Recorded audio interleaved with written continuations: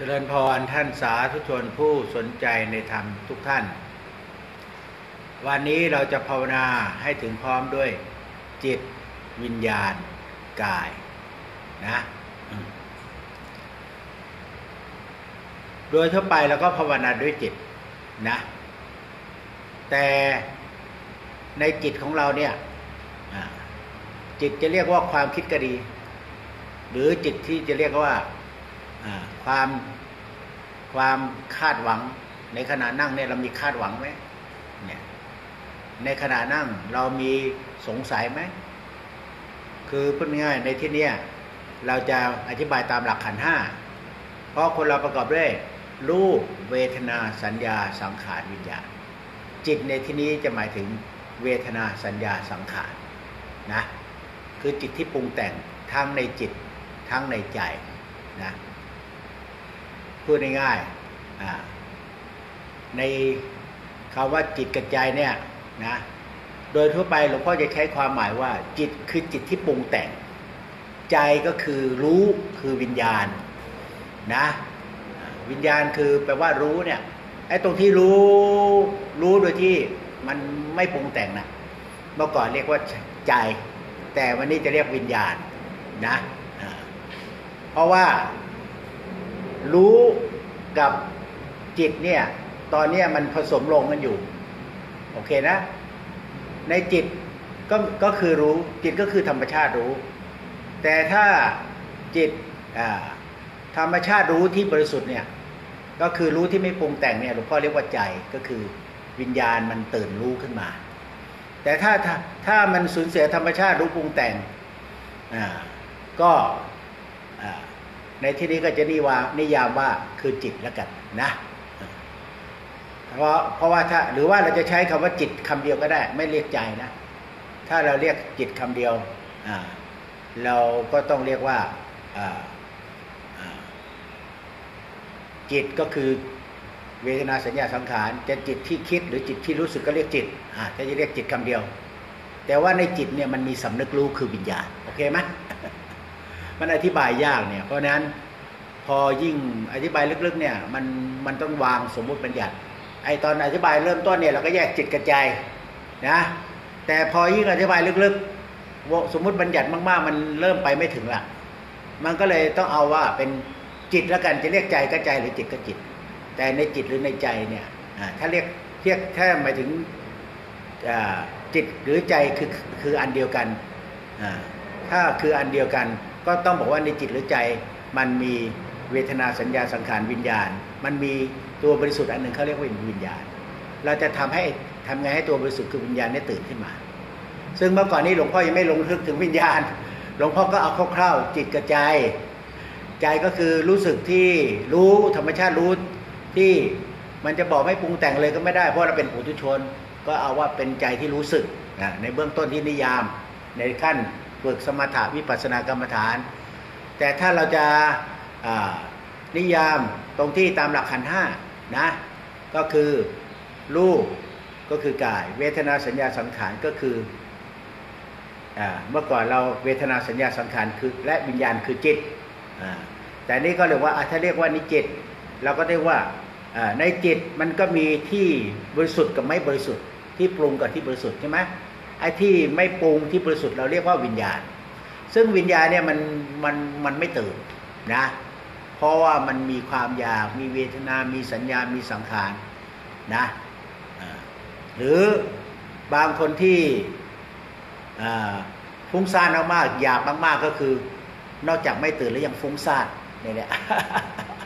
เพราะฉะนั้นถ้ามันฟุ้งซ่านตรงนี้ก็เรียกว่าจิตปรุงแต่งตัวนี้ก็เรียกว่าจิตนะ แต่เพราะว่าวันนี้จะลงไปถึงคำว่าวิญญาณคือคือใจ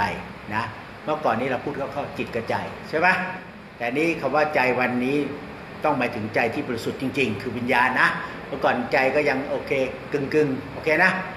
เพราะฉะนั้นในจิตจะเป็นจิตปรุงแต่งคิดนึกหรือจิตปรุงแต่งเป็นอารมณ์ มันมีใจอยู่ข้างในคือ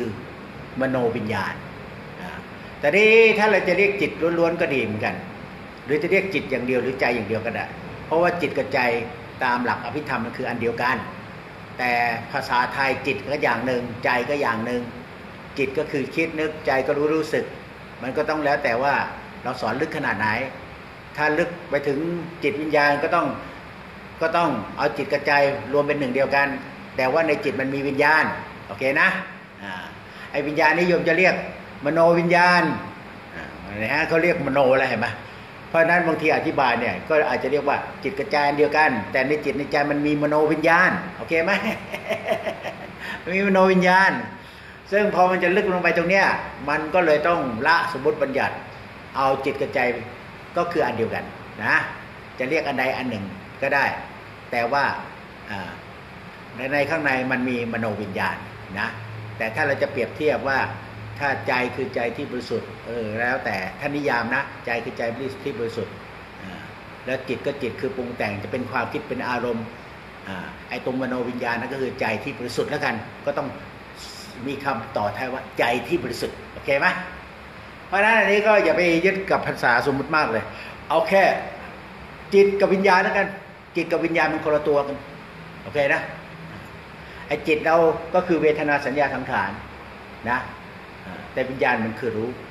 แต่มันทำงานด้วยกันนะ แต่ด้วยกันเมื่อก่อนนี้หน่วงกัน แต่วันนี้จะทำงานด้วยกันไม่หน่วงกัน เอาวิญญาณแยกออกมา ให้มารู้ที่กายเป็นหลัก เข้าใจยัง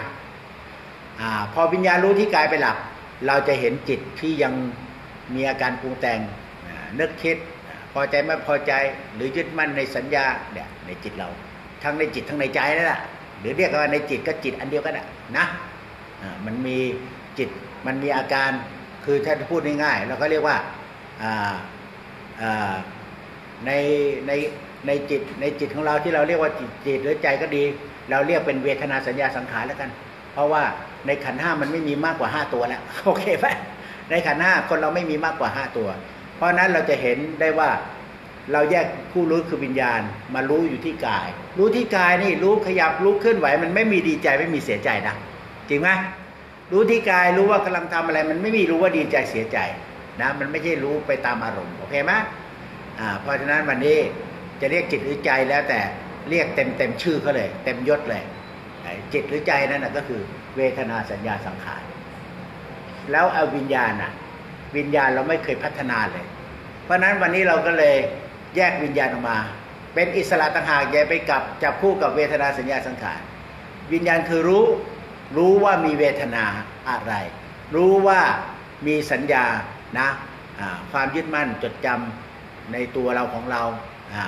สัญญาเนี่ยมันมันเป็นอุปาทานที่ละยากมาก โดยเฉพาะอุปาทานในสัญญาว่าเป็นตัวฉันของฉันเนี่ยละยากมาก เรารู้ไหมโดยมากไม่รู้ เวลาเป็นตัวเราของเราเนี่ยมันไม่รู้ว่าเราเรามีตัวเราของเรานะเข้าใจไหมมันไม่รู้เนี่ยทุกคนไม่รู้ว่าตัวเองมีตัวเราของเราที่ยึดมั่นนะ ก็เพราะรู้มันไม่มันไม่เตือนเลยแล้วขณะที่คิดฟุ้งด้านคิดนู่นคิดนี่เราก็บอกว่าเรารู้เราเราเราก็ไม่รู้ว่าเราคิดอะไรฟุ้งซ่านขณะที่ฟุ้งอะนะจนเราเริ่มรู้สึกตัวว่า เออ เออ เราเริ่มมีรู้รู้หรือรู้สึกตัวว่า เออตะกี้เราฟุ้งหรือเผลอคิดไปต้องครึ่งวัน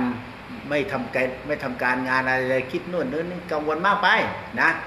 เพราะฉะนั้นวันเนี้ยรู้เราจะใช้อุบายจับคู่ใหม่ นะรู้มันชอบอยู่ในในในในเวมันมันมักจะถูกครอบงำโดยเวทนาสัญญาสังขารเอารู้มาไว้ที่กายเลยถ้ารวมรู้ที่กายรู้ของโยมจะเห็นเวทนาสัญญาสังขารเพราะว่ามันมันออกมาแล้วนะรู้ถึงที่กายเนี่ยขณะที่รู้ที่กายเช่นหลวงพ่อถ่ายรูปโยมนะนะพอนับหนึ่งอันนี้ทั้งทั้งเวทนาสัญญาสังขารวิญญาณเนี่ยคือจิตตัวเนี้ยมีทั้ง ปรุงแต่งและที่บริสุทธิ์คือรู้เนี่ย มันเคล้ากันอยู่นะแยกไม่ออก พอนับสอง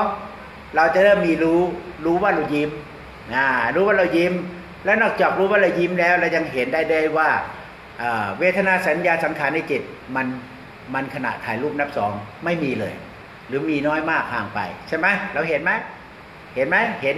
เห็นไหมขณะที่ตั้งท่านับสองเนี่ย เวทนา สัญญาสังขารความพอใจไม่พอใจ ความยึดมั่น หรือความจำได้หมายรู้ทรงจำที่ไม่ยอมวางหรือสังขารคือความปรุงแต่งในขณะถ่ายรูปมีไหมไม่มีมีแต่เตรียมถ่ายรูป action ให้ดีที่สุดใช่ไหมเพราะฉะนั้นวันนี้โยมเริ่มเข้าใจแล้วว่า มีสิ่งหนึ่งที่เราไม่เคยฝึกกัน ฝึกวิญญาณให้ตื่นแต่จริงๆก็ครูบาอาจารย์ท่านก็ ได้มีเมตตาให้เรารู้จักคำว่าฝึกความรู้สึกตัวโอเคนะ ซึ่งนั้นอะวันนี้มาอธิบายที่ครูบาอาจารย์สอนเรื่องความรู้สึกตัวก็คือวิญญาณนะนะซึ่งวิญญาณตื่นเนี่ยมันต้องแล้วแต่ตื่นสมบูรณ์แค่ไหน ถ้าตื่นสมบูรณ์หมดก็ตื่นทั้งวิญญาณทั้งหกเลย มันเหมือนมีวิญญาณทั้งหกปรากฏเป็นเอ่ออธิสมานกายกายกายที่ละเอียดข้างใน ซึ่งมีหมดเลย มีมองมีเห็นมีได้ยินมีสัมผัส มีรู้กลิ่นมีสัมผัสริมรสมีหมดเลยอ่าแล้วก็เห็นกายนี้เนี่ยมันไม่ที่ไม่ใช่ตัวเราของเรา เพราะฉะนั้นอันนี้อ่าถ้าตื่นถึงขนาดนี้เนี่ยโยมต้องอาศัยทั้งเจโตสมาธิด้วยนะแต่ถ้าโยมเอาแค่ตื่นเพื่อรู้รู้สึกตัวแล้วก็เห็น โดยไม่ต้องไปถึงอ่าเวนอาทิสมานกาย อันนี้ก็แค่ตื่นด้วยด้วยด้วยความรู้สึกตัวแล้วก็เห็น เห็นเห็นอนิจจังทุกขังอนัตตาแล้วก็ปล่อยวาง อันนี้ก็เข้าสู่วิปัสสนาญาณไปสู่ความหลุดพ้นได้เช่นกัน เพราะฉะนั้นวันนี้เราก็บอกว่ารู้สึกตัวตื่นอเอาเบื้องต้นเอาตื่นง่ายๆนะตื่นตรงที่เห็นตัวเอง แต่มันก็ต้องอธิบายถึงความความเป็นไปได้ของมันว่า ถ้าเรารู้สึกตัวตื่นมากๆเนี่ยเข้าถึงเจโตสมาธิ มันตื่นเหมือนกับว่ามันเป็นอธิสมานกายที่เหมือนกับแยกออกมามองพิจารณากายเนื้อนี้นี้ได้ เพราะนั้นอันนี้น้อยคนที่จะไปถึงขั้นเจโตสมาธิในยุคนี้คงจะหายากนะแต่ก็มีหลักฐานครูบาอาจารย์แม้ที่ยังมีชีวิตอยู่และที่ท่านมรณภาพไปแล้วท่านได้กล่าวไว้นะเพราะฉะนั้นอันนี้ก็คืออันเดียวกันเวลาสอน เพราะฉะนั้นตอนนี้เราก็เอาแค่ตื่นด้วยความรู้สึกตัว เอาแค่วันนี้เราจะฝึกความรู้สึกตัวที่กาย จนเหมือนเห็นกาย เอาไม่เชื่อโยมลองลองเอามือจับเลยก็ได้เนี่ย โยมจับนวดคอรู้สึกไหมแล้วเหมือนกับตรงที่รู้สึก ตรงที่รู้สึกที่โยมรู้สึก ฝ่ามือโยมรู้สึก มันเหมือนตรงที่รู้สึกโยมเห็น เห็นมือโยมกำลังนวดคอโยม เห็นไหมตรงที่รู้รู้สึกอะเหมือนมือกำลังนวดคอโยม เห็นไหมอ่าไอเนี้ยคือวิญญาณ วิญญาณทางกาย มันตื่นเพราะเรารู้สึกตัวเนี่ยแต่โยมสามารถฝึกให้เขา รู้สึกแล้วเห็นโดยไม่ต้องเอามือแตะก็ได้นะอาโยมลองรู้สึกสิรู้สึกเอี้ยวคอ เออ มันเหมือนเห็นตัวเองเอี้ยวคอไหมเห็นไหมเห็นใช่ไหมนี่คือวิญญาณ วิญญาณทางกายอ่าเวลามีวิญญาณทางกาย ไอ้วิญญาณเนี่ยมันจะเห็นตัวเรา แล้วไอ้ตรงที่ วันนี้ที่จะเน้นก็คือกายกายวิญญาณ วิญญาณทางกายจักผูวิญญาณและมโนวิญญาณ ซึ่งวันเนี้ย หลวงพ่อจะให้อุบายปลุกสามตัวนี้ให้ตื่น อย่างน้อยมันก็ครึ่งหนึ่งแล้วนะ มันมีหกเนี่ยนะวิญญาณทางกายทางตา ทางหูจมูกลิ้น แล้วก็ทางใจมโนวิญญาณ วันนี้ฝึกเรียกว่ากรรมหัวกรรมท้ายกรรมหัวก็คือกายกรรมท้ายก็คือมโน ได้ไหมแล้วก็อยู่ระหว่างกลางจากสู่วิญญาณ เมื่อโยมตื่นตื่นหัวตื่นท้ายตื่นบนตื่นล่างและตื่นตรงกลาง เดี๋ยวมันก็ตื่นทั้งหมดเองเข้าใจนะ อย่างน้อยเราก็ตื่นต้องสามประตูแล้วนะ ไอ้กำหัวกำท้ายนี่ก็คือเวลานั่นนะโยมทำอะไรอะนะทำทำทำอะไรเนี่ยโยมแค่ดูเหตุกับผลที่ปรากฏ แล้วโยมจะเข้าใจตลอด แม้กระทั่งกำหัวกำท้าย โยมทำธุรกิจนะโยมต้องกำหัวกำท้ายให้ดี ดูว่าอินพุตแล้วมีเอาพุตอะไร ไอ้ตรงกลางนี่บางทีต้องปล่อยวาง เพราะตรงกลางคือผู้ปฏิบัติการ เดี๋ยวก็อะไรไงคืมดีคืมร้ายเดี๋ยวก็อารมณ์ดีอารมณ์ร้ายไอ้ตรงกลางนี่ต้องต้องลมเพลลมพัดต้องอย่าไปไปยึดมั่นถือมั่นมาก เราแค่อินพุตแล้วก็เอาพุตเป็นอย่างนี้นะถ้าเราไปไปอะไรหมดไปไปวอรี่อะไรมากเกินไปนะ สุดท้ายเราก็จะเป็นทุกข์ก็คือแค่ ภายกำหัวกำท้ายในนี้คืออะไร ภายในกับภายนอกโยมโยมแค่ภายนอกตื่นภายในตื่นได้ไหมมโนวิญญาณตื่น เอานี้มโนวิญญาณที่ใจเลยนะ ภายในลึกๆเลยนะเดี๋ยวมโนวิญญาณในจิตก็จะตื่นนะ ภายนอกภายในให้ตื่น แล้วก็ตรงกลางตื่น ตรงกลางคือตรงที่ตาได้ไหมโยมตื่นที่กาย ตื่นภายในตื่นภายนอกที่กาย ตื่นภายในที่ใจด้วยรอยยิ้มและศรัทธาและตื่นตรงกลางตรงที่ไม่เหมือแค่นี้โยมก็จะสามารถ ปลุกความรู้สึกตัวภายในตื่นมา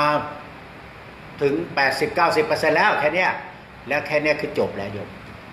มันเป็นอุเบกขาญาณละที่เราฝึกสมาธิวิปัสสนามาเนี่ยนะมันจะไปถึงภาวะ มันมันมันตื่นแบบความรู้สึกตัว ทั่วพร้อมที่เขาเรียกว่าความรู้สึกตัวทั่วพร้อมแล้วมีรู้มีเห็นในความรู้สึกตัวทั่วพร้อมไอ้รู้เห็นอันนี้ก็คือตอนนี้ยังไม่มีรู้เห็นข้างในนะ แต่โยมมีเห็นที่ตาไหมได้โยมมีรู้ที่กายไหมได้โยมมีรู้ที่ใจไหมวันนี้ให้อุบายตื่นนอกตื่นในก็แล้วก็รู้ที่ตรงกลางตรงที่ตา อย่าให้เหมือได้ไหมรู้ตรงกลางตรงที่ตาไม่เหมือแล้วรู้กายนั่งทุก ๆ ส่วนเลยขยับเคลื่อนไหวแล้วรู้ที่ใจ เอาอยู่ตรงนี้แข็งแรงสิรู้ที่กาย รู้ไทยในใจ รู้ที่สายตาไม่เมือได้ไหม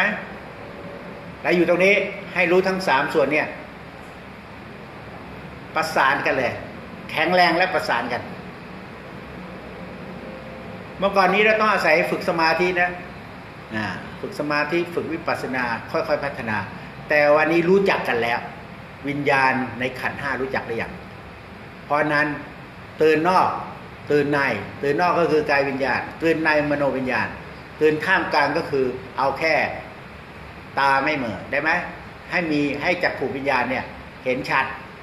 การเห็นไม่ใช่เห็นที่ตา มันเห็นด้วยจักขูวิญญาณไอ้จักขูวิญญาณตื่นตื่นแล้วให้เห็นชัดเหมือนอะไร เหมือนเวลาโยไปเที่ยวเมืองนอกไงพอไปเดินเนี่ยแน่ตื่นตาตื่นใจไหมลืมตาเหมือนกัน แต่ถ้าเดินเดิน เดินในกรุงเทพเนี่ย ตื่นตาตื่นใจไหมไม่ตื่น ถ้าเดินนู่นนะสวิตเซอร์แลนด์ตื่นตาตื่นใจไหมนะนั้นวันนี้โยมอยู่แค่บน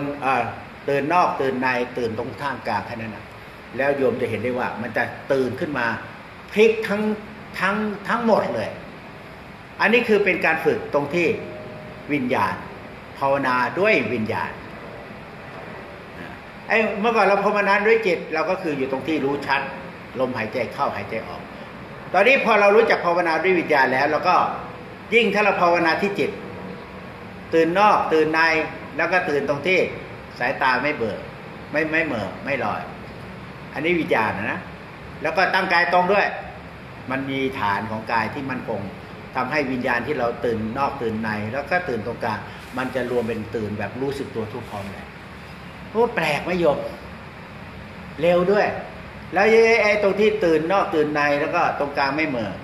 นะอันนี้คือวิญญาณที่วันนี้จะสอนให้ให้ให้ตื่นอย่างน้อยสามวิญญาณละปกติมันมีหกวิญญาณนะวิญญาณหกนี่ตื่นสามวิญญาณละแล้วตอนนี้เราก็มาพัฒนาที่กายนั่งตัวตรง เราเห็นไหมว่าพอนั่งตัวตรงเนี่ยมันเป็นฐานกำลังของวิญญาณความรู้ตัวนะทั้งภายนอกภายในมันจะเหมือนกับ โอ้ อะไรบางอย่างมันสดใสออกมา จริงไหมโยแล้วมันเหมือนเห็นตัวเอง เนี่ยมันเห็นด้วยวิญญาณ เพราะวันนี้เราตื่นต้องสามวิญญาณ มันชัดไหมชัด ไอ้ตรงนี้โยม ถ้าโยมไม่ชัด บางคนยังไม่เข้าใจนะ ไอ้ตื่นนอกตื่นในเนี่ย โยมไปหัดตรงขณะเล่นกีฬาตีเทนนิสตื่นนอก ตั้งใจก็ตั้งใจ เต็มที่เลย สายตาก็ไม่เหมือจากคู่ต่อสู้ ตื่นนอกตื่นในแล้วก็สายตาไม่เหมือจากคู่ต่อสู้ ตีด้วยจิตวิญญาณกาย ตีด้วยความรู้สึกตัว รับรู้ใช้วิญญาณรับ วิญญาณเห็น วิญญาณรู้ ตีลูกก็ใช้วิญญาณ แต่ตาในรู้ชัดที่คู่ต่อสู้ เขาเดินไปทางตรงนี้ เดินตรงนี้ลองมีรู้ชัดไหมมีรู้ชัดมีวิญญาณไหมฮะนี่แหละเล่นกีฬาเนี่ยหลวงพ่อว่ามันได้สมดุลของ จิตภาวนากายภาวนาแล้วก็ภาวนาที่วิญญาณนะ ครบถ้วนเลย ดีไหมนะแล้วตอนนี้พอตื่นอย่างนี้แล้วตอนนี้ไอ้ตัวให้เป็นหนึ่งกับตัวเราเองขณะที่เราตีลูกเสิร์ฟลูกนะ เป็นหนึ่งแบบไหนรู้ไหมโยมเคยหัดจี้กงไทยเก๊กไหมเคยไหมเวลาเราเคลื่อนไหวใช่ไหม เขามีท่าดีมากสิบแปดท่าบ้างกี่ท่าเนี่ย คือไม่ก่อนไม่หลัง ให้ความรู้สึกตัวกับกายที่เคลื่อนไหวเนี่ยไม่ก่อนไม่หลังได้ไหมนี่คือวิญญาณทางกาย เพราะนั้นเราต้องรู้จักวิญญาณทางกายตรงที่ เวลาเล่นท่าไทเก๊กจี้โกงเนี่ย มันแบบทำไงให้ความรู้ตัวมันประคองความรู้สึกตัวไปกับกายเคลื่อนไหวเสมอกัน แล้วจิตก็มองท่าทางตัวเอง จิตก็มองท่าทางตัวเองได้ไหมกายก็หัดลำไปให้มันเป็นจังหวะ วิญญาณก็รู้ เพราะนั้นอาตมาอ่าจึงว่าท่านปรมาจารย์วัดเศร้าเด่นนี่เยี่ยมมากนะ วัดเศร้าเด่นนะถ่ายทอดมาจากท่านตักหมออนกกระเรียนนกนู่นนกนี่ โอ้ สังเกตธรรมชาติแล้วก็ทำให้เรารู้ตัว ถือว่าเป็นการพัฒนาจิตวิญญาณ อีกรูปแบบหนึ่ง เป็นการออกกำลังกายสุขภาพด้วย จริงไหมเพราะนั้นตอนนี้วิญญาณของโยมมันมันมันไม่อยู่กับเนื้อกับตัวโดยรอบแบบเสมอนะโยมลองหัดลำไทเก๊กท่าเนี่ยท่าท่านั่งเนี่ยได้ไหมยังไงก็ได้ไม่มีที่ท่าเดี๋ยวออกกำลังกายก็ได้ได้ไหมแล้วรู้สึกได้ไหมความรู้ตัวมันมันมันประสานกับกับกับการเคลื่อนไหวอย่างอย่างเป็นจังหวะได้ไหม นี่แหละมันเหมือนมีเงาอะไรบางอย่างเนี่ยมีเงาอะไรบางอย่าง เนี่ยแหละคือวิญญาณ แต่ตอนแรกมันไม่ชัดมันเหมือนเงาเงาโอเคไหมแล้วจิตโยมก็นิ่งๆสิเราก็มอง มองเห็นอะไร เห็นเมื่อก่อนบอกเห็นกายเห็นความรู้สึก วันนี้ต้องบอกเห็นกายและเห็นวิญญาณ ในที่นี้ใช้คาว่าเห็นกายเห็นความรู้สึกตัวแล้วกันเพราะไอ้วิญญาณอันนี้มันจะเหมือนใหม่ ๆ มันจะเหมือนความรู้สึกตัวโยมเห็นกายเห็นความรู้สึกตัวไหมเห็นไหม เห็นไหมเห็นไหมเนี่ยแล้วโยมอยู่ตรงที่จิตวิญญาณกายนะสามมิติเลย เป็นอะไรต่างๆ เป็นอะไรที่มันมีมีมีญาณมีปัญญา มันรู้มันเห็นอ่าเป็นไงพอบอกไทยเก๊กแล้วเป็นไงรู้สึกดีไหมนะตอนนี้เนื่องจากอย่างอาตมาเป็นพระจะไปรำไทยเก๊กก็ไม่เหมาะใช่ไหมอ่า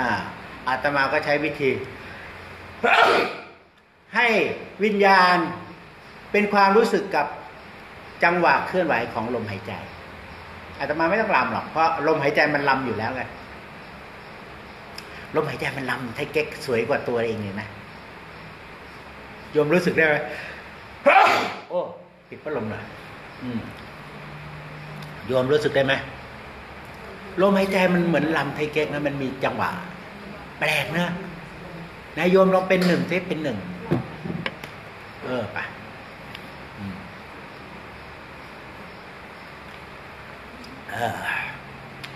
อันนี้ ไม่ใช่ยาหรอก อาหารเสริม เดี๋ยวนี้ลูกศิษย์โดบอาตมาเต็มที่เลย เสริม อาหารเสริมเพราะโยมเห็นไหมอาทิตย์นี้ทั้งอาทิตย์นี้ทำงานเกือบทุกวันเลยนะเทศนะเออ อ้ไปอเมริกาเนี่ยอาจจะได้พักบ้างนะดีเหมือนกัน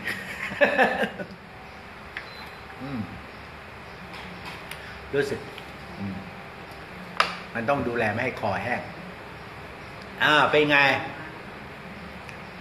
ตอนดื่มน้ำนี่ก็วิญญาณนะได้เนี่ยเนี่ยโยมเนี่ยอาตมาดื่มน้ำเนี่ย รู้สึก รู้สึกจนไม่สนใจโยมเลยเนี่ย อืม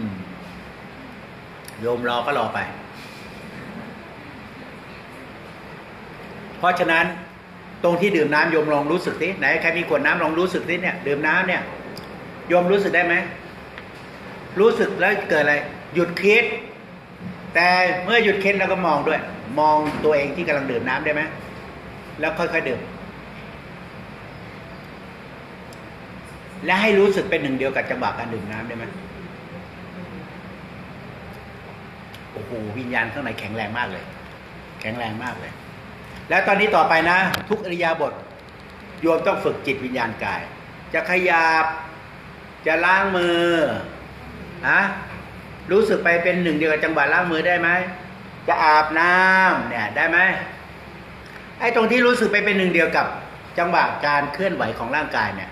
อันนี้เขาเรียกว่าวิญญาณ แต่เมื่อก่อนเราเรียกว่าความรู้สึกตัว วันนี้ก็พูดตรงๆเลย ความรู้สึกตัวทำให้วิญญาณมันตื่นก็เพราะอะไร เพราะว่าขันห้ามันประกอบด้วยรูปเวทนาสัญญาสังขารวิญญาณ มันมีห้าอย่างอะนะซึ่งหลวงปู่กัสปะชี้ทางไว้ไอ้ที่พัฒนาเนี่ยฝึกสติฝึกสมาธิวิปัสสนาเพื่อให้ตัววิญญาณเนี่ยเขาไม่ไหลไม่ไปไม่ไหลไม่จมไปกับความปรุงแต่งของเวทนาสัญญาสังขารเมื่อก่อนนี้วิญญาณเราไหลกับจมอยู่ตลอดเวลา เพราะฉะนั้นทำอะไรต้องรู้สึกตัว อ่าต้องรู้สึกตัวเอ่อเมื่อวานเมื่อเมื่อสัปเมื่อช่วงวันที่สี่หกมิถุนายนไปสอนที่อ่านครนายกนะ มีลุงคนหนึ่งนะอาพอบอกให้ยืนนะ ลูกเขาก็กลัวว่า ลุงจะยืนไม่ไหวอ่าใช่ไหมอ่ายืนแล้วก็ทำความรู้สึกตัว ลุงก็บอกว่าไหวไหวถ้าไม่ยืนเดี๋ยววิญญาณไม่ตื่น แล้วลุงเขาเข้าใจด้วยนะบางทีลูกเขายังไม่เข้าใจเลยนะ เพราะลุงเขาลำไทยเก๊กอ่าเวลาเขายืนเขารู้สึกตัวดี วิญญาณตื่นนะลุงอายุต้องเกือบเก้าสิบก็ยังทำตามปัจจมานะเคลื่อนไหวเห็นไหมมันมีกายมีวิญญาณมีจิต สัมพันธ์กันไหมเนี่ยกายวิญญาณ วิญญาณที่เหมือนกับไปพร้อม ๆ กับกายที่เคลื่อนไหวมีไหมแล้วมีจิตไหมมีจิตตรงที่รู้ชัดมองชัดมีไหม โอ้ยมลองให้สามอันนี้ชัดหมดเลยกายก็ชัด วิญญาณก็ชัดเสมอกัน จิตก็รู้ชัด รู้ชัด ทั้งรู้ทั้งมองชัดด้วย มันเหมือนเรา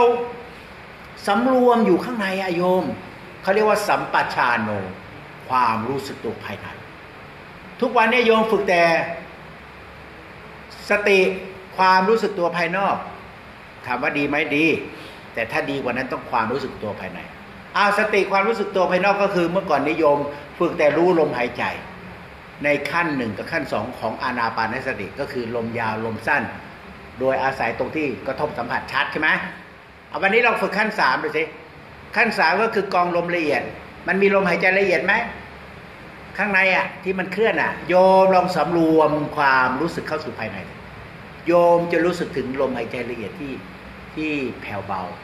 แล้วเราลองเป็นหนึ่งกับลมหายใจละเอียดที่แผ่วเบาได้ไหมเอาลองดูสิลืมตา เพราะวันนี้ต้องฝึกจากวิญญาณ ให้ตื่นก่อน ถ้าฝึกจิตก่อนวิญญาณตื่นยาก ฝึกวิญญาณให้ตื่นก่อน ถ้าวิญญาณตื่นแล้วมันจะมีฐาน พอวิญญาณตื่นแล้วมันจะมีฐานจิตก็จะตื่นง่าย ได้ไหมวันนี้เราฝึกวิญญาณความรู้ตัวให้ตื่นก่อน ได้ไหมเนี่ย ก็คือเป็นหนึ่งกับไทเก๊ก จี้กงไม่ต้องออกท่าทาง ลมหายใจมีการเคลื่อนไหม มีการแผ่ขยายไปไหมลมหายใจมันก็มีท่าไทเก๊กจี้กงเหมือนกันนะ จริงไหมโยม สดชื่นผ่อนคลาย เป็นไง ได้ไหมอ้าววันนี้เราฝึกไทเก๊กข้างในแล้วนะกับลมหายใจ ได้ไหมโยมรู้สึกถึงลีลาท่าทางของอาการการหายใจของโยมไหมมันไปทั่วภายใน ไปเหมือนกับมันไปทั่วทุกขุมขนอะโยมนายลองสำรวมสิโอ้โหวันนี้นี่ฝึกไทเก๊กข้างในนี่เป็นไง ดีมากเลย มันเหมือนเห็นลมหายใจไปทั่วทุกอนูของร่างกายมันไปทางไหนเห็นหมดเลย เพราะนั้นพอโยมวิญญาณตื่นแล้วโยมก็รู้ชัดเนี่ยจิตเนี่ยรู้ชัด รู้ชัดนะ รู้ชัดถึงความรู้สึก คือความรู้สึกมันจะเคลื่อนไปแต่ละที่แต่ละที่เนี่ย จิตก็รู้ที่จิต โอเคไหมนะจิตก็รู้ที่จิตในที่นี้ก็รู้ที่จิตอ่ารู้ที่จิตก็แล้วแต่คน จะเป็นรู้ที่จิตในขั้นสมถะกรรมฐานนะหรือรู้ตรงที่จิตในขั้นวิปัสสนากรรมฐานข้างในก็ได้นะมันมีมันมีรู้ชัดในจิต และในจิตมันมีมโนวิญญาณมันก็ออกมา แต่ตรงนี้ส่วนมากจะทำกันยังไม่ค่อยเป็นโอเคนะ เพราะว่าถ้าตรงนี้ยังไม่มีกำลัง ตรงนี้มันจะไม่ชัดโอเคนะเพราะนั้นรู้ที่จิตในขั้นที่ที่มันยังไม่สงบ แต่เมื่อรู้แล้วมันสงบก็คือรู้ที่จิตตรงที่นึกเพราะนั้นถ้าพูดถึงในเรื่องสมถะกับวิปัสสนาหลวงพ่อก็จะจำแนกเป็นจิตกระจายนะเพราะนั้นไอ้ตรงที่ รู้ที่จิตรู้ที่ใจ แต่วันนี้เรียกจิตอย่างเดียวก็คืออ่าตรงที่จิตที่มันยังมีอาการอะ ตรงนี้ใจก็ยังมีอาการก็เรียกจิตไปเลยพอเราเอาความรู้สึกตัวมาผูกกับกายเราออกมาปั๊บในจิตที่ยังมีอาการปรุงแต่งเนี่ย มันจะมีมโนวิญญาณออกมาตื่นออกมานะวันเนี้ยหัวใจทำไงพลิกของความให้หงายขึ้นหงายขึ้นอะไรหงายขึ้นมา มโนวิญญาณอืมตื่นขึ้นมา แต่ตรงนี้เนี่ยโยมไม่ต้องกังวลว่าจะฝึกที่จิตตรงที่นึกคิดหรือที่ใจ เอาว่ารู้ชัดตรงไหนเอาตรงนั้นแล้วกัน เพราะมันแล้วแต่สถานการณ์เหมือนกันนะบางสถานการณ์ปั๊บเราจะต้องคอยคอยเดินข้ามถนนอย่างเงี้ยนะคอยเดินข้ามถนน มันจะมารู้ชัดตรงที่จิตตรงที่ที่เราต้องมอง เพราะเรามีการมองปั๊บมันจะมาชัดตรงนี้ ถ้าเดินข้ามถนน ถ้าเดินข้ามถนนโยมไม่รู้ที่ใจตัวนี้บางทีการมองไม่มี โอเคไหมเเพราะฉะนั้นถ้าโยมไม่ได้ทำอะไรนั่งนั่งแล้วก็นั่งนั่งเหมือนกับนั่ง ไม่ต้องระวังอะไรเนี่ย มันจะมารู้ที่จิตตรงนี้ เพราะฉะนั้นบรรลุชัดตรงไหน จิตก็อยู่ตรงที่รู้ชัด อย่างนี้แล้วกันนะอ่าเข้าใจแล้วยังเพราะมันแล้วแต่ แม้บอกอบอกโยมบอกว่ารู้ชัดที่จิตในใจ ก็เลยบางทีตาโยมเมืองแล้วเมื่อเมื่อๆอะเอ้าเหมือนกับแสดงว่านี่ โยมโยมโยมยังขาดสติหรือขาดสมาธิ เพราะนั้นเราก็ไม่รู้จิตในขั้นที่ต้องต้องมองต้องฟัง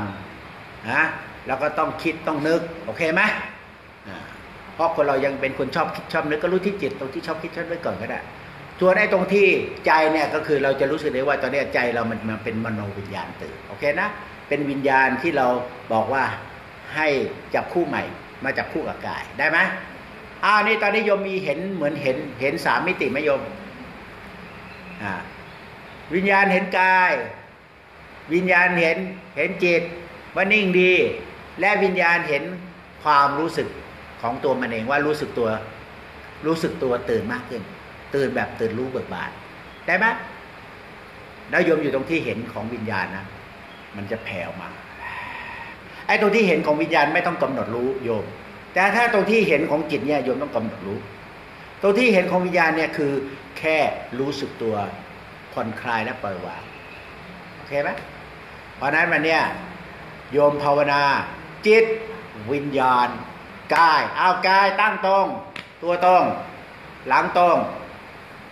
จิตมองกายมองความรู้สึกจนกระทั่ง วิญญาณความรู้สึกตัวตื่น จิตก็มองเห็นทั้งกายทั้ง ความรู้สึก และไปถึงความรู้สึกตัวที่ตื่น วิญญาณก็เห็นจิตเห็นกายวิญญาณก็เห็นจิตเห็นกายเห็นด้วยความรู้สึกตัวที่ตื่น แล้วโยมอยู่ตรงเนี้ย อันนี้คือพระเอกนะโยมเนี่ยไอ้ความรู้สึกตัวที่ตื่นนี่คือพระเอก ตอนแรกมันแค่เป็นเด็กที่งงเงียงงเงียตอนนี้มันเป็นพระเอกไอ้ตัวนี้ที่จะขี่ม้าขาวนะขี่ม้าขาวไปสู่ความพ้นทุกข์หลุดพ้น คือตรงเนี้ยจะต้องต้องไม่ดำไม่มืด ไม่ติดไม่ไม่ไม่ติดดีไม่ติดร้ายโอเคไหมอ่ามีหน้าที่ม้าขาวเปรียบเหมือนวิริยะ วิริยะอย่างเดียว ตื่นอย่างเดียวเนี่ยคือวิริยะได้ไหมแล้วตัวนี้มันตื่นมากขึ้นมันเหมือนเห็นนะ ความรู้สึกตัวอย่าก้มหน้า บางคนก็ได้แหละบางคนได้แหละบางคนถ้าก้มหน้าหรือหลับตาไม่ได้หรอกเพราะวันนี้ฝึกวิญญาณ ฝึกวิญญาณต้องฝึกลืมตา อได้วิญญาณแล้วตอนนี้เราเราก็หลับตา รู้ด้วยการรู้ชัด พร้อมๆกับการรู้สึกตัวภายในได้ไหมรู้ชัดและด้วยความรู้สึกตัวภายใน เพราะนั้นตอนเนี้ยเราจะมีรู้สึกตัวภายในก็คือรู้สึกถึงถึงกายและความรู้สึกที่มันเปลี่ยนไปยังไงขยับเคลื่อนไหวแปรเปลี่ยนยังไงมีอารมณ์ปรุงแต่งไง เราจะรู้สึกตัวได้ไหม เราจะรู้สึกตัว เพราะฉะนั้นวันนี้เราก็จะ รู้สึกรู้สึกรู้สึกรู้สึก รู้สึกตัวให้ดี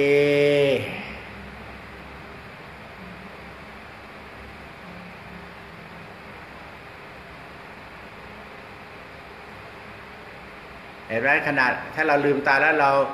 รู้สึกรู้สึกรู้สึกก่อนนะ รู้สึกรู้สึกมาที่การนั่ง รู้สึกตัวไหม แล้วนี่โยม วิญญาณนี่นะ มันแปลกนะ มันแลเข้าไปได้ลึก จิตเนี่ยโยมมองเข้าไปในใจได้ ไม่ลึกเหมือนเอาวิญญาณมองเข้าไปในใจ โยมแลข้างในเป็นไหมไอ้ที่แลข้างในนั่นคือวิญญาณแลข้างในมันไม่มีตัวกูของกู ถ้าที่ดูแล้วมองเข้าไปข้างในนะมันมีตัวเราของเราไปพยายามดูมองค้นหา พยายามพยายามทำอะไรบางอย่างให้มันบริสุทธิ์หรือขจัดอะไรบางอย่างที่มันสกปรกให้มันออกไป อันนี้คือจิต เวลาดูแล้วมันชอบเหมือนกับว่า ต้องทำอะไรสักอย่างนะทำจิตให้นิ่งก็ทำนะ หรือต้องกำหนดรู้เข้าไปใน ความปล่อยวางถ้าจิตเนี่ยเราใช้การกำหนดรู้เป็นหลักนะ แต่ถ้าวิญญาณเนี่ยเราใช้การรู้สึกตรงๆ รู้สึกตรงๆ ได้ไหมหลวงพ่อก็บอกว่าอาโยมแล เข้าไปภายในสิ อันนี้เป็นเทคนิคหนึ่งที่จะทำให้โยมแลด้วยวิญญาณเป็น แลเข้าไปในภายใน ไม่ใช่แลด้วยตานะ แล ด้วยความรู้สึกตัวอันเป็นภายในได้ไหมโยมใช้ความรู้สึกตัวอันเป็นภายใน แลเข้าไปภายในได้ไหมแลเข้าไปทางข้างในจะเปิดเลยนะโดยโยมต้องมีจิตรู้ชัด มีกายตั้งตรง แล้วก็แลเข้าไปในความรู้สึกตัว ใช้ใจแลแลเข้าไป แลไปเห็นไป แลไปเห็นไป แลไปเห็นไปและปล่อยวางไปโดยลำดับได้ไหม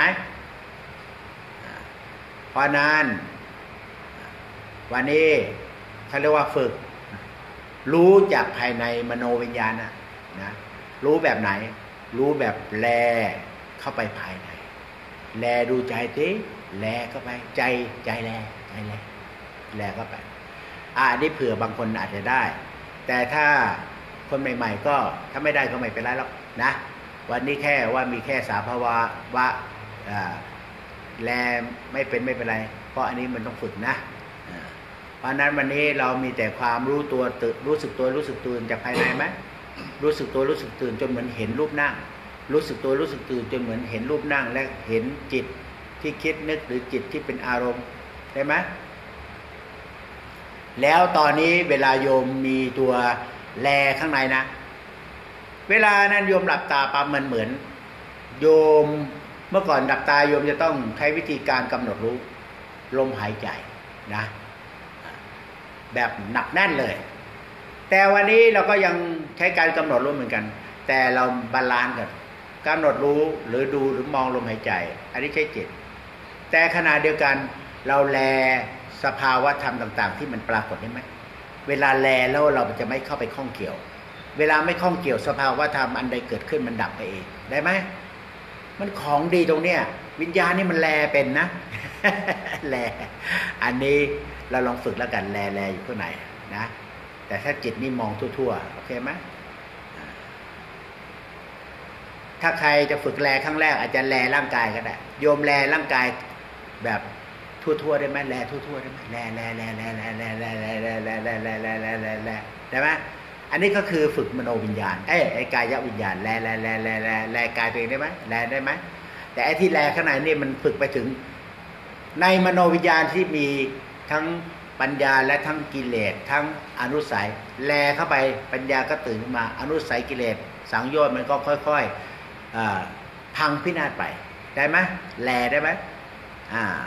วันนี้ฝึกแลก่อน เพราะว่าจะได้รู้จักใช้วิญญาณ ถ้าแลกายมันก็คือแลจากความรู้สึกตัว เอาโยมแลจากความรู้สึกตัวได้ไหมเนี่ย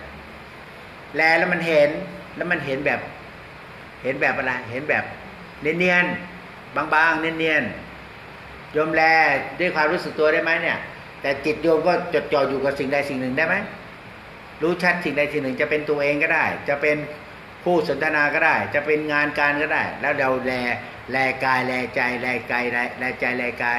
ทำงานไปตั้งใจแล้วแลกายแลใจแลใจแลกายได้ไหมรอบนี้มันช่วงบ่ายไม่ควรหลับตาหรอกโยม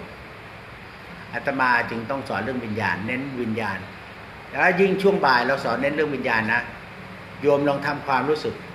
เข้มแข็งอดทนดิยังไงฉันก็ต้องไม่ง่วง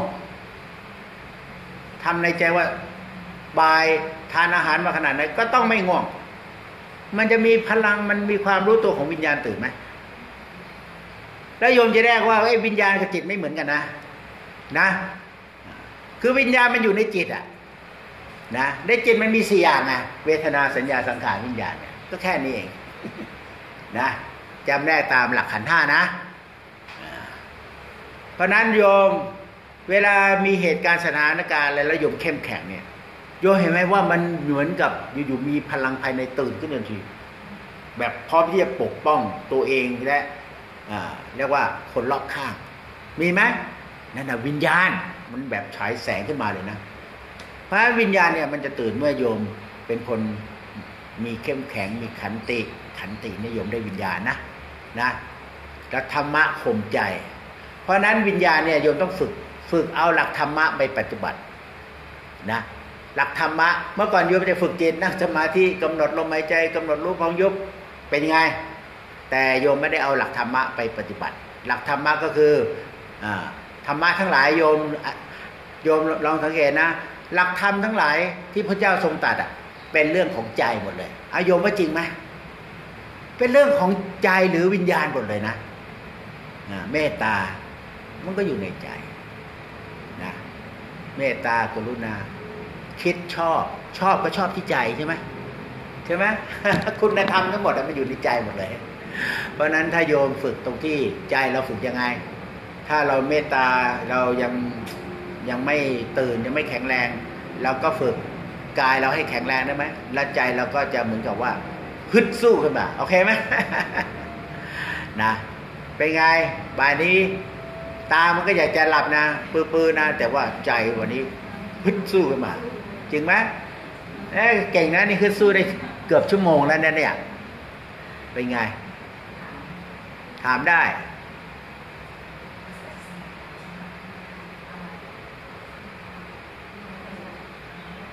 มมติว่าอ่ากายกายหยาบแล้วเราแยกออกมามีอธิสมานกายกายกายทิพย์ที่ว่านี้อ่าเอ่อไอ้สองกายเนี้ย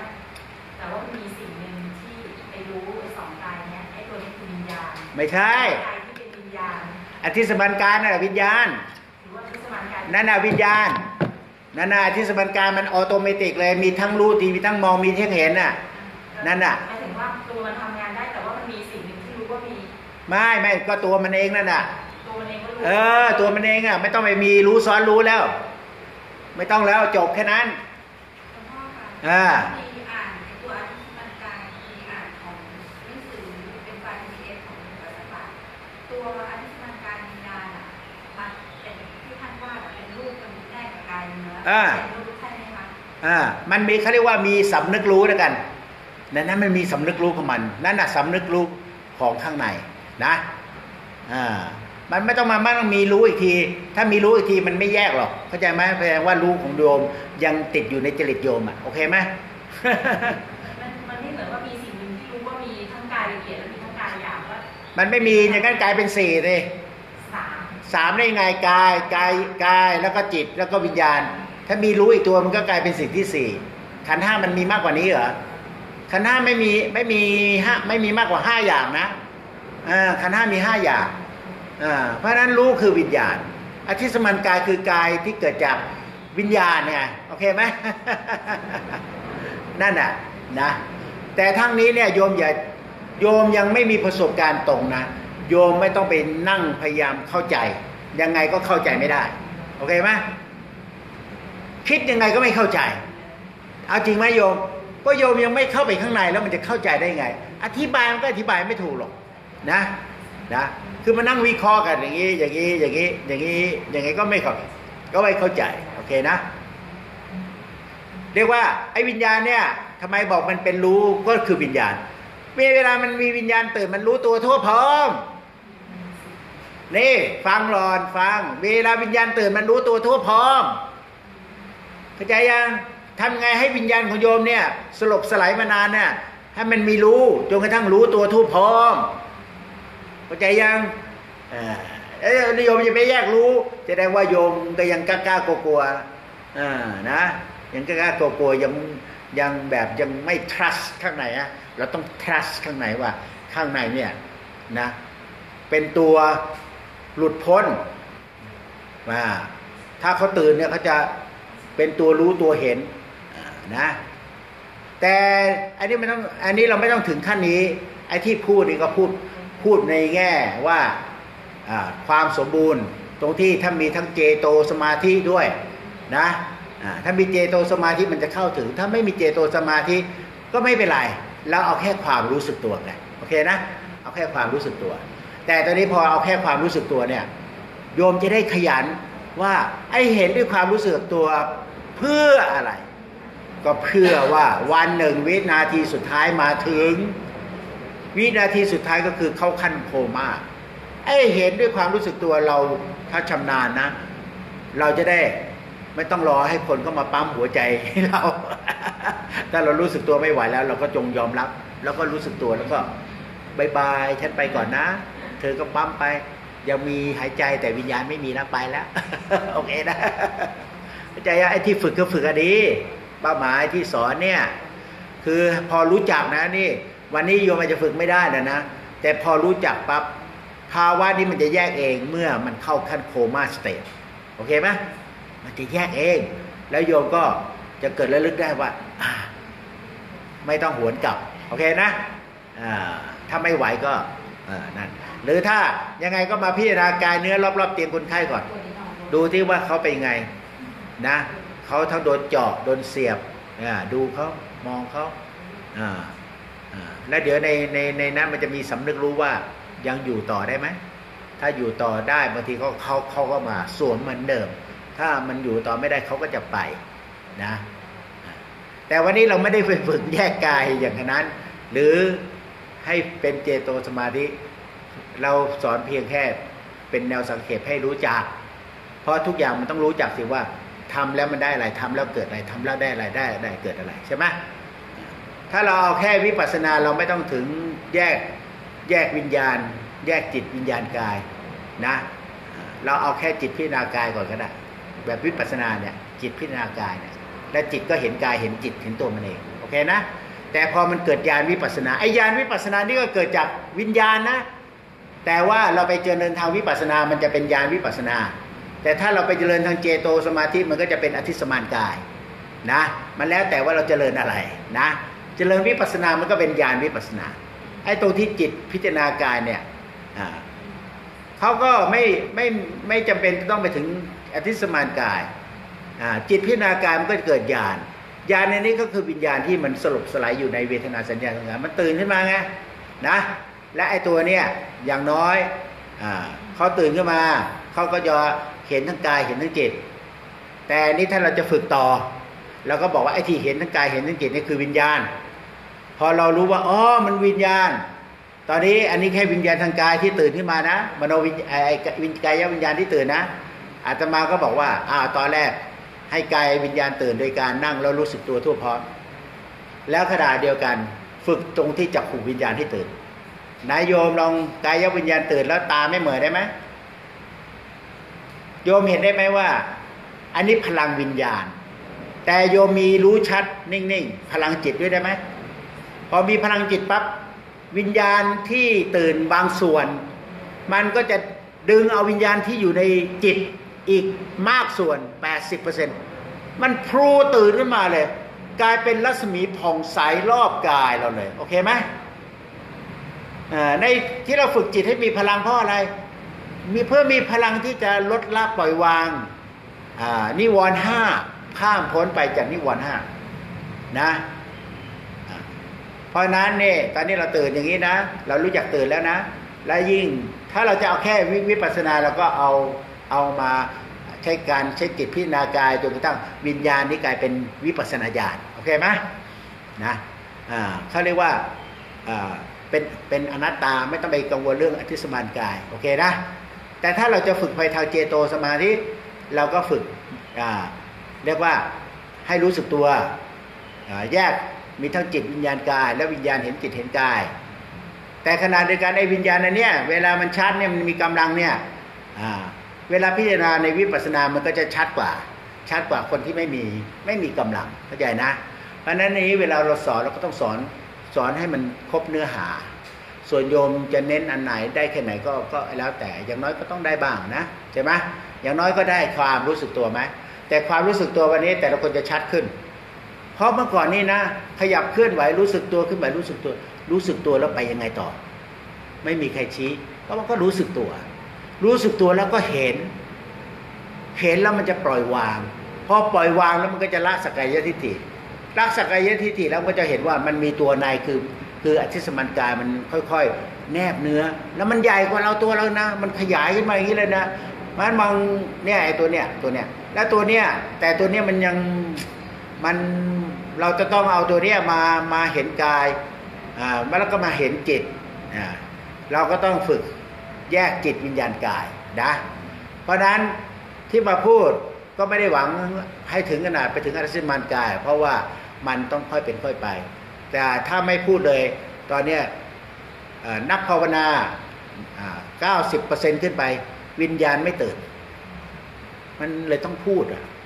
นั่งสมาธิไม่มีวิญญาณเลย พวกนี้หลับหมดเลยโอเคนะแช่อยู่ข้างในเข้าใจไหมมันเลยต้องพูดนะอตอนนี้พอพูดมันก็ต้องพูดว่าถ้าเป็นเจโตสมาธิเป็นไงเป็นวิปัสนาเป็นยังไงนะแต่นี้พอพอพูดยิ่งในยุคนี้ก็มีหลวงปู่กสปะกับหลวงพ่อวิริยังท่านเน้นอธิสมานกาย ซึ่งถือว่าเป็นคุณูปการอย่างมิ่งอย่างยิ่งนะไม่งั้นหลวงพ่อเขาไม่กล้าพูดหรอก เข้าใจไหมเมื่อก่อนนี้ เออ ก็ยังเงียบๆแต่ตอนหลัง เราก็รู้นะอธิสมานกายนะหลวงปู่กระสปะหลวงปู่วิริยังท่านก็พูดถึงเรื่องนี้ แต่คนยังไม่ค่อยรู้จักเมื่อก่อนนี้ แต่เดี๋ยวนี้เข้าคอร์สครูสมาธิกันเยอะขึ้น ก็จะรู้จักกันเยอะขึ้น แต่ว่าไม่รู้ว่า how to ทำยังไงเข้าใจใช่ไหมอ่าแต่ถึงถึงยังไงก็แล้วแต่ ก็ให้มันได้สมาธิเยอะๆดีนะแต่ต้องรู้จักว่าสมาธิที่จิต คือสติที่กำกับจิตให้พ้นจากนิวรณ์ความรู้สึกตัวสัมปชานโนที่ใจในตอนนี้จะเปลี่ยนใจเป็นวิญญาณละโอเคไหมแล้ววิญญาณก็จะผ่องใสแล้วจะฝึกง่ายด้วยถ้าโดมรู้จักคำว่าสัมปชานโนความรู้สึกตัวที่วิญญาณ ก็ก็พูดติดตลกก็ได้ เป็นไง นั่งภาวนา วิญญาณของเธอนี่ไม่ได้นั่งไม่นั่งภาวนาด้วยนะเธอมีแต่กำหนดกำหนดกำหนดไอ้กำหนดนั่นคือจิตนะแต่วิญญาณต้องใช้การผ่อนคลายและปล่อยวางพอปล่อยวางแล้วมันมีวิญญาณตื่นแล้วหลวงปู่กสปามุนีก็ชี้อีกว่า มันจะมีตัวพลังอยู่สองอัน กระแสจิตตรงที่เรากำหนดรู้ กระแสวิญญาณตรงที่เรารู้สึกตัวแล้วปล่อยวางเนี่ยเมื่อก่อนนี้เราไม่มี เมื่อก่อนนี้กระแสจิตกระแสวิญญาณมันมันมัน กระแสจิตมันน่วงกระแสวิญญาณเข้ามา กระแสวิญญาณไม่เคยตื่นนะเพราะมีแต่การเพ่งเป็นอารมณ์ การกำหนดรู้เพ่งเป็นอารมณ์ แต่หลวงพ่อบอกว่า วันนี้ลองรู้สึกตัวสิแล้วเดี๋ยวต่อไปเรากำหนดรู้เพ่งอย่างไร เราจะเริ่มรู้สึกได้ว่ามีบางอย่างที่มันรู้สึกว่ามันมันมันมันแยกส่วนกันนะ และตัวที่แยกส่วนกันเนี่ยคือตัวหลุดพ้น หลุดพ้นแม้กระทั่ง กระแสจิตที่กำลัง มีตัวเรานั่งทำสมาธินะไอในสมาธิเนี่ยก็มีอัตตานะโยมหลุดพ้นจากอัตตาไม่ขนาดในนั่งสมาธิ แต่ยังไงก็เอาอัตตาในสมาธิก่อนดีกว่า แล้วหลุดพ้นจากอัตตาข้างนอก มันต้องค่อยๆ วางอัตตาหยาบๆตัวเบลเลอร์ข้างนอกฉันดีกว่าเขาฉันเหนือกว่าเขาฉันเขาด้อยกว่าฉันฉันเสมอเขาเอาอัตตาตัวนี้ไปก่อน มาติดอัตตาในสมาธิก่อนอ่าติดอัตตาในสมาธิไม่เป็นไรหรอกไม่เดือดร้อนคนอื่น อาจจะเดือดร้อนตัวเองคือเสียเวลา จริงไหมเออเพราะฉะนั้นโยมฝึกยังไงหลวงพ่อก็ว่าถูกหมดนะนะเอาจริงๆนะหลวงพ่อมองมองดูแล้ว มันถูกหมดอะไม่ว่าโยมจะมีอัตตาไม่มีอัตตาในสมาธินะเพราะมันไม่ได้เดือดร้อนคนอื่นนะนะเพียงแต่ว่ามันอาจจะไปนิพพานช้าหน่อย ก็ไม่เป็นไรรอๆกันหน่อยนะอ่าเพราะนั้นวันนี้เรารู้จักอะไรใช่ไหมแจมนี่ยังอ่า อ้าวตอนนี้เราจะถึงการนั่งภาวนาเข้าไปในวิญญาณทำไงแน่เข้าไปในวิญญาณทำไงจะเพิ่งคุยกัน นั่งเข้าไปในวิญญาณทำไงเมื่อก่อนโยมใช้จิต หลับตามึงก็จิตเห็นหน้าตัวเองใช่ไหมแต่นี้พอหลับตาโยม ตอนนี้อย่าเพิ่งหลับตา โยมลองใช้แววตาเนี่ยเห็นหน้าตัวเองดิเอาแค่ตรงส่วนศีรษะโยมใบหน้าโยมเนี่ย มันก็มีกาย วิญญาณแล้วก็จิต โอเคไหมวิญญาณที่กายเนี่ยโยมลองนั่งแล้วใช้ไอ้แววหน้าเราอะดวงหน้าเราหรือจะเรียกแววตาเราเนี่ย เห็นด้วยแววตาแล้วเป็นไหมโอ้โหพอเห็นปั๊บมันกระจายมันขยายเลย เห็นด้วยแววตาเนี่ยวิญญาณ แล้วเราจะได้รู้ว่ามันต่างไง เห็นด้วยจิตทำไง มันมีนิ่งอยู่ตรงกลาง นะเห็นหน้าเราเห็นรูปนั่ง เอาเห็นด้วยแววตาตรงใบหน้า เราก็เห็นในไอ้ความรู้สึกของวิญญาณ มันตื่นขึ้น มันเป็นตัวตัวตัวอะไรอะ ตัวบริสุทธิ์แล้วกัน มันตื่นขึ้นมันมันรู้สึกผ่องใสบริสุทธิ์ แล้วมันมันมีความสะท้อนในตัวที่จะสะท้อนเห็นกายเห็นจิตอ่าตอนนี้เราก็มาฝึกตรงที่ทั้งหมดร่างกายสิ ตอนแรกเราเอาที่ใบหน้าเนี่ยอ้าวโยมแยกได้ไหมว่าใบหน้าโยมจิตวิญญาณกายอยู่ตรงไหนอ้าวก็โยมก็ลองเอาอ่าเอาเอาอย่างนี้ถ่ายรูปก่อน ตรงที่จิตวิญญาณกายอยู่ไหน ตรงใบหน้าโยมอะ นับหนึ่งตอนนี้จิตโยมจะจ่อจะมา อันนี้คือจิต นับสองตอนนี้โยมเริ่มมีความรู้สึกอะไรบางอย่าง ยิ้มขึ้นมา แล้วมันตื่นแล้วมันเห็นหน้าตัวเอง และเห็นจิตตัวเองด้วยวันนิ่ง พร้อมที่จะถ่ายรูป พร้อมที่จะโพสท่า action วิญญาณเห็นจิตเห็นกายไหมตรงนี้คือสมถะกรรมฐานแต่ว่าเป็นโลกีเป็นโลกุตตรสมาธิ วิญญาณเป็นอิสระจากจิต นิดนึง แล้วพอไปถึงใจ ตอนนี้วิญญาณอ้าวใจทำไงอ่ายิ้มขึ้นมาสิยิ้มแล้วก็รู้สึกตัว แล้วก็รู้ชัด รู้ชัดด้วยใจแล้วว่าเรานั่งยังไง แล้วก็เห็นด้วยความรู้สึกตัวตรงที่ยิ้มเนี่ยไหมถ้าไปที่ใจเนี่ย มันก็จะเริ่มเป็นวิปัสสนากรรมฐานมากขึ้นโอเคนะ มันต่างกันนะ เพราะนั้น โอ้หลวงพ่อสอนไม่เคยจบสักทีว่า เมื่อไรสอนแล้วจะสอนจนหมดภูมิตัวเองนะสอนมาสิบปียังไม่หมดภูมิตัวเองเลยจริงๆนะ ยิ่งสอนยิ่งละเอียดนะนะ ไปสอนที่ต่างประเทศนะฝรั่งเขาชอบแม่หลวงพ่อนี่สอน advent adventure meditation สมาธิแบบผจญภัยเลยเขาชอบเขาตื่นตาตื่นใจมันเขาได้ยินในสิ่งที่เคยไม่ได้ยิน แล้วเขาลองทำแล้วเขาได้ผลด้วย เขาเหมือนหลวงพ่อพาไปนู่น พาไปข้างในอะ เห็นนู่นเห็นนี่ เห็นความว่างห้าง เห็นความว่าง เห็นความรู้สึกเห็นความโปร่งใสเห็นความยุติเขาเห็นตามได้หมดเลยที่ออสเตรเลียเขาตัวโหขนาดเขาฝึกมานานอายุก็หกเจ็ดสิบเจ็ดสิบแปดสิบแล้วก็ยอมรับเลยนะ เพราะนั้นอันนี้โยมไปทำงานเสียเวลานะมาปฏิบัติธรรมให้มากๆอย่างนี้ดีกว่านะทำงานก็พออยู่ได้ แล้วเราก็หัดหัดธรรมะไปเรื่อยๆ เพราะว่าสุดท้ายเราก็ต้องแก่ทั้งเจ็บทั้งตายไอ้ที่เราทำมามันเอาไปไม่ได้ แต่ที่เราปฏิบัติธรรมเนี่ยมันติดตัวเราข้ามภพข้ามชาติ ต่อไปเกิดมาเราก็จะมีเรียกว่าปฏิทานนะมีบารมีจิตโอเคไหมอ่าเพราะนั้นอย่างอื่นภายนอกเนี่ยก็อ่าช่างมันนะถ้าเกิดอะไรก็ไม่เป็นไรหรอกมันกรรมของสัตว์โลกกรรมของสัตว์โลก นะตัวเองยังเอาไม่รอดเลยนะ แต่ก็อยากจะพาคนอื่นให้รอดหมดสงสารนะฮะตัวเองก็เลยไปหมดเลยนะอ้าวพักนิดนึงเดี๋ยวเรามาต่ออีกทีหนึ่งนะ ขอให้ทุกท่าน เป็นผู้รู้ตื่นเบิกบานเข้าถึงธรรมในธรรมขององค์สมเด็จพระสัมมาสัมพุทธเจ้า แล้วก็ปิดอบายให้ได้ในชาติปัจจุบันนี้ทุกคนทุกท่านเธอ